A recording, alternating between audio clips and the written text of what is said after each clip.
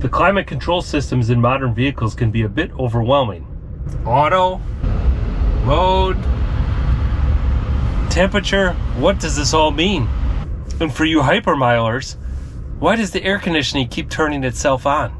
If you're having a hard time understanding the climate controls in your vehicle or what they control, don't feel bad. Modern vehicles have immensely more complicated climate control systems than we even have in our homes. To help us understand our vehicle's climate control system, we're going to take a step back and look at a simpler system first, one without automatic controls. And we've got four basic controls here. The first one is our fan speed. So this is pretty simple to understand. There's a fan under the dash that moves air around the vehicles to different parts. And this is simply controlling the speed of that fan blade as it's going. The next control we have with air is where we're taking the air from. By default, our vehicle's climate control system is taking air from outside the vehicle up in the cowl area. We can change that to take air from inside the vehicle with this button, the recirculate button and then it pulls air from below the dash and recycles air within the vehicle. The next main control on the air side is our vent selector. So this controls where the air is directed in the vehicle. Pretty simple. It's moving dampers in below the dash after the fan to change the route at which the air takes so we can get it blowing up in our face or down by our feet. The next control is our temperature of the air. So for this system, our air temperature is controlled by two main components. One is the heater core that's taking coolant from the engine and passing it through a heat exchanger that our air is passing through. That is at a pretty constant temperature around 200 degrees. Once the vehicle is warmed up, the temperature of that coolant does not change very much. This selector is controlling what percentage of air passes by that heater core. If we have it all the way down on cold with the air conditioning off, we're taking air from outside the vehicle and bypassing the heater core completely and just bringing it into the cabin. And of course, if we go all the way hot, the system is directing 100% of that air past the heater core and into the cabin of the vehicle, heating it up as much as possible. So if our vehicle has air conditioning, we can turn it on with this button here.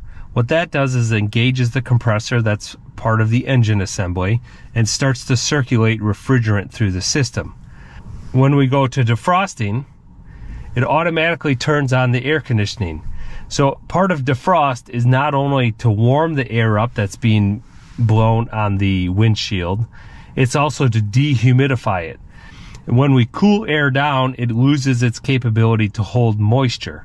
So the moisture comes out of the air and then we direct it past the heater core to heat it back up. And that's how you get defrosted air. That's one of the reasons our air conditioning turns on without us pressing the button. We're back to our automatic climate control system, and this is significantly more complicated because when we put it in auto, a computer takes over handling the control of the knobs basically. It's controlling fan speed, it's controlling how much air gets passed through the heater core, whether or not the air conditioner turns on and off, and where to direct the air within inside the cabin. Temperature sensors inside the cabin that are monitoring where we're at and comparing that value to what we set it at with our selector switches. So the first thing is determining do I have to heat or do I have to cool the air? That controls where I'm going to pass the air by the heater core or not, and then also where to direct the air inside the cabin. So if we're heating the air and it's cold, we're going to get the heat from the footwells, and then we're also going to have some defrost mode automatically dictated. The next thing it's going to look at is how far are we off. So if it's 40 degrees inside the cabin and I want it to be 68, it's going to pass 100% of that air through the heater core and make it as hot as possible.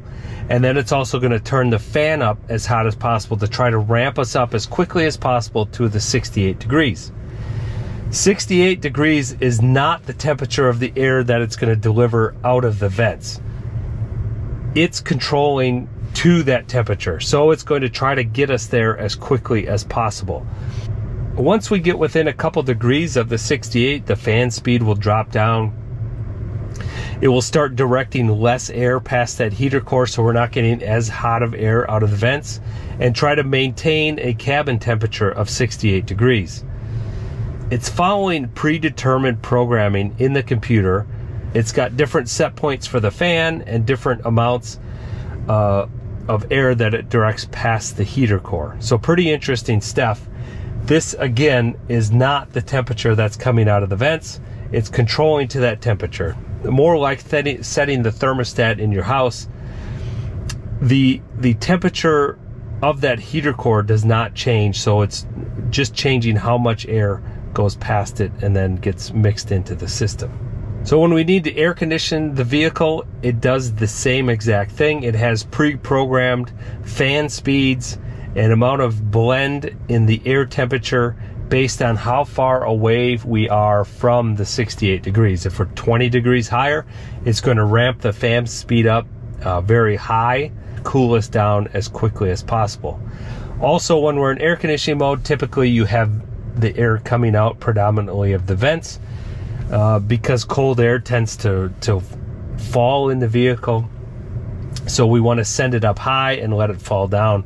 The same reason heat comes out of the footwell because it rises, so it comes down there and then will automatically rise into the top part of the vehicle. So the one thing I don't like and is a little bit confusing to some people is our air conditioner light will not come on when we've got auto mode selected. So it's doing all of that behind the scenes this will come on and off, air will recirculate, and it's all based on the programming of the climate control system. But this is happening Uh, when you are in auto mode, it just doesn't tell you. This will happen in heat mode, even. And as I said, that's because some of that air is being directed to defrost the windshield and keep our windows from freezing up. To do that, it needs to reduce the humidity in the air.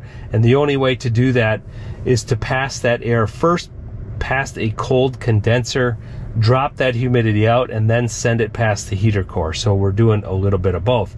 The best way to know if your air conditioning is on when you're in auto mode is to turn it off. And you will see the light will automatically come on if the air conditioning was on at the time you turned it off here.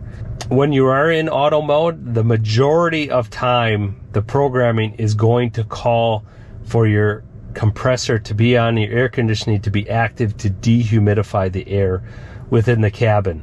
So the only way to ensure if you are trying to hypermile or put less hours on your compressor for some reason is to leave it out of auto mode and to control your air conditioning on or off with this button. Note if you do select defrost even, even if you're not in auto, if you go defrost front, most of the time that will also automatically turn your air conditioning on. I hope that provided a little bit deeper understanding of your climate control system, specifically your automatic climate control system in your vehicle.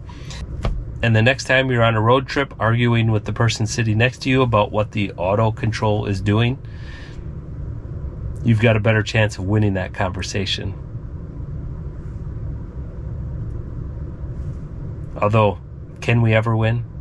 If you found some value in that video, please consider subscribing to my channel. And if you want to see more videos like this, throw some ideas down in the comments section or ask any questions that you might have. Thanks for watching.